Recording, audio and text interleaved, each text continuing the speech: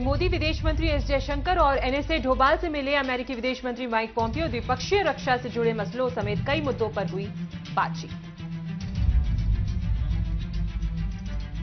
इस बैठक में जी ट्वेंटी में होने वाली डोनाल्ड ट्रंप और नरेंद्र मोदी की मुलाकात का एजेंडा तय होगा भारत आतंकवाद, ईरान और anti missile system S four hundred पर। अपनी राय अमेरिका को बताएगा। अमेरिका का रूस से एस फोर हंड्रेड खरीदने की भारत की कोशिशों का विरोध कर रहा है और भारत का प्रतिबंध की धमकी भी दे रहा है। जी ट्वेंटी शिखर सम्मेलन के दौरान पीएम मोदी, अमेरिकी राष्ट्रपति ट्रंप, रूसी राष्ट्रपति पुतिन, चीनी राष्ट्रपति शी जिनपिंग समेत विश्व के दिग्गज नेताओं के साथ ताबड़तोड़ दस द्विपक्षीय बैठक करेंगे।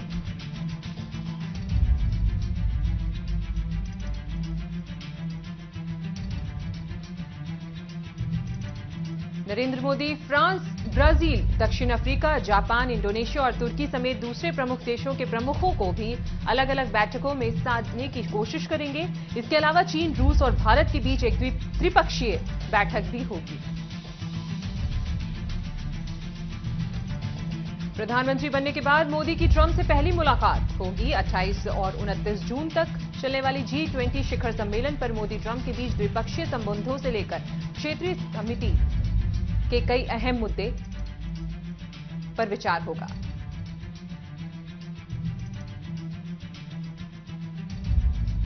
लोकसभा चुनाव के दौरान प्रधानमंत्री नरेंद्र मोदी ने केदारनाथ के जिस गुफा में ध्यान लगाया था, उसकी ऑनलाइन बुकिंग शुरू हो गई है। पीएम मोदी के यहाँ ध्यान लगाने से श्रद्धालुओं के बीच इस गुफा को लेकर क्रेज कितना बढ़ गया है, इसका अंदाज़ा इस बात से लगाया जा सकता है कि बुकिंग शुरू होते ही अगले 10 दिनों में नौ रूम नौ गुना बढ़ गई। हालात ये है कि अब 10 दिन से पहले गुफा की उपलब्धता नहीं होगी। केदारनाथ गुफा की एक हज़ार रुपए का ऑनलाइन भुगतान कर श्रद्धालु एक दिन का स्लॉट बुक कर सकते हैं। इसके साथ यात्रा के दौरान गुप्त काशी और केदारनाथ में चिकित्सा परीक्षा होती है। इसके बाद ही गुफा में ठहरने की अनुमति दी जाती है। लोकसभा चुनाव में मिली हार के बाद से राहुल गांधी कांग्रेस अध्यक्ष पद से इस्तीफा देने पर अड़े हैं। आज एक बार फिर से कांग्रेस सांसदों की बैठक में राहुल ने अध्यक्ष पद पर बने रहने से इनकार कर दिया। कांग्रेस सांसद शशि थरूर और मनीष तिवारी ने राहुल को अध्यक्ष बने रहने के पक्ष में तर्क दिया और हार की ज़िम्मेदारी सामूहिक होने की बात कही, लेकिन राहुल फिर भी हार की नैतिक ज़िम्मेदारी अपनी मानते हुए अध्यक्ष नहीं बने रहने का फैसला दोहराया जम्मू कश्मीर के त्राल में आतंकियों से मुठभेड़ सुरक्षा बलों ने दो से तीन आतंकियों को घेरा, दोनों ओर से फायरिंग जारी। त्राल के वन क्षेत्र में बुधवार तड़के सुरक्षा बलों ने दो से तीन आतंकियों को घेर लिया। दोनों ओर से फायरिंग हो रही है। सुरक्षा बलों ने आसपास के इलाके में सर्च ऑपरेशन भी शुरू कर दिया है। सत्ता जाने के बाद मुश्किल में पूर्व सीएम चंद्रबाबू नायडू आधी रात में घर पर चली जेसीबी। आंध्र प्रदेश की सरकार ने दिए थे आदेश। इसका निर्माण एन चंद्रबाबू नायडू के नेतृत्व में पूर्व सरकार की ओर से किया गया। प्रजावेदिका का निर्माण सरकार ने आंध्र प्रदेश राजधानी क्षेत्र विकास प्राधिकरण के ज़रिए तत्कालीन मुख्यमंत्री आवास के एक विस्तार के रूप में किया। इससे पहले चंद्रबाबू नायडू ने प्रज्ञा वेदिका विपक्ष के नेता का सरकारी आवास घोषित करने की मांग की थी, लेकिन सीएम जगनमोहन रेड्डी ने मांग को ठुकरा दिया। दिल्ली के नरेला में व्यापारी से लूटपाट किए जाने का मामला सामने आया है, जहाँ बाइक सवार दो बदमाशों ने व्यापारी को गोली मारकर 18 लाख रुपए से भरा बैग लूट लिया। वहीं लूटपाट की इस पूरी घटना को सीसीटीवी कैमरे में देखा जा सकता है। केंद्रीय गृह मंत्री बनने के बाद पहली बार अमित शाह जम्मू कश्मीर के दौरे पर जाएँगे। अमित शाह 26 जून से जम्मू कश्मीर के दो दिवसीय दौरे पर रहेंगे। जम्मू कश्मीर दौरे के दौरान शाह राज्यपाल सत्यपाल मलिक से मुलाकात करेंगे और उनके साथ जम्मू कश्मीर की वर्तमान सुरक्षा संबंधित स्थितियों पर चर्चा करेंगे। सोनीपत में खेत में काम करने और पशुओं को पानी पिलाने से मना करना दलित युवक पर भारी भारी पड़ गया। मान, मना करने के बाद उसकी बेरहमी से पिटाई की गई। दबंगों ने केवल पिटाई की बल्कि पीड़ित युवक को अर्धनंग कर हरियाणवी गाने पर डांस करने पर मजबूर किया। मामला सोनीपत के गन्नौर कस्बे के एक गाँव का है। करीब एक माह बाद वीडियो वायरल हुआ तो अब मामला दर्ज हुआ है। पीड़ित के परिजनों ने दिल्ली से उसका लड़का घर आया था, जहाँ गाँव के ही जितेंद्र और मोहित नाम के दो युवक ज़बरदस्ती अपने खेतों में काम कराने और पशुओं की देखरेख करने का दबाव बना रहे थे। वायरल हुए दो वीडियो में से एक में आरोपी लाठी से पीड़ित को पिटाई करते नज़र आ रहा है। वहीं दूसरे वीडियो में उसे अर्धनग्न हालत में हरियाणवी गाने पर डांस करवा रहे हैं। मध्य प्रदेश के नरसिंहपुर में फिर मानवता को शर्मसार कर देने वाला मामला सामने आया है, जहाँ एक मासूम से दरिंदगी की वारदात को अंजाम देकर दरिंदे उसे जंगल में फेंक फरार हो गया। ये वाक्य उस वक्त का था जब बच्ची अपने परिजन के साथ घर में सो रही थी और घात लगाए पर दरिंदे उसे उठाकर सुनसान जगह पर ले गए। घर में बच्ची को ना देख परिजनों ने गुमशुदगी का मामला दर्ज कराने गए। पुलिस कर्मचारी से ये बात कही। वहीं आज सुबह बच्ची को कुछ स्थानीय लोगों ने बेहोशी की हालत में अस्पताल में भर्ती कराया, जहाँ उसकी गंभीर हालत को देखते हुए जबलपुर रेफर कर दिया गया। एसपी ने मामले को गंभीरता से लेते हुए प्रधान आरक्षक को सस्पेंड कर दिया और पुलिस आरोपी दरिंदों की खोज में जुट गई है।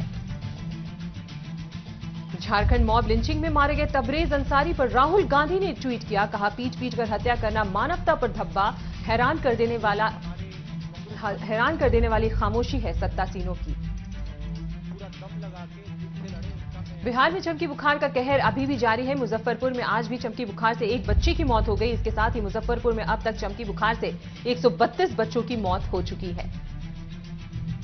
एसकेएमसीएच में 121 और केजरीवाल अस्पताल में 11 बच्चों की मौत हुई है। वहीं पूरे बिहार में अब तक एक सौ तिरासी बच्चों की दिमागी बुखार से मौत हो चुकी है। जबकि बुखार को की वजहों को लेकर स्थिति अभी तक साफ़ नहीं हो पाई है, परंतु जानकारों का कहना है कि इसका मुख्य कारण कुपोषण, तापमान और वातावरण में अधिक नमी है। यूपी के बस्ती में राम जानकी मार्ग पर भीषण सड़क हादसा। एक बेकाबू ट्रैक्टर ने दो मोटरसाइकिलों में जोरदार टक्कर मार दी। टक्कर इतनी जोरदार थी कि चार लोगों की मौके पर ही मौत हो गई और दो हालत की हालत गंभीर बताई जा रही है। वहीं मौत से गुस्साए लोगों ने ट्रैक्टर चालक को पेड़ से बांधकर जमकर पिटाई की घटना। बस्ती के कलवारी थाना क्षेत्र की है। बता दें कि दोनों बाइक पर छह लोग सवार थे। उत्तर प्रदेश के गाजियाबाद के क्रॉसिंग रिपब्लिक के एक सोसाइटी में कार को अंदर जाने से रोकने पर गार्ड से मारपीट का मामला सामने आया है। सोसाइटी गेट के पास बने गार्ड रूम में ताब तोड़फोड़ के मामले, मुख्य आरोपी की पुलिस ने गिरफ़्तार कर लिया। गाजियाबाद के विजयनगर थाना क्षेत्र के क्रॉसिंग रिपब्लिक की सोसाइटी में 23 जून की रात को बाहरी गाड़ी को गार्ड ने अंदर जाने से रोका। गुस्साए कार सवार अपने साथ सात आठ युवकों को लेकर सोसाइटी में पहुँचे और गार्ड की जमकर पिटाई की। साथ ही वहाँ लगे बैरियर को शीशे भी तोड़ दिए। नेपाल पुलिस को 28 जगहों पर मिले संदिग्ध पैकेट, देश में दहशत फैलाने की कोशिश।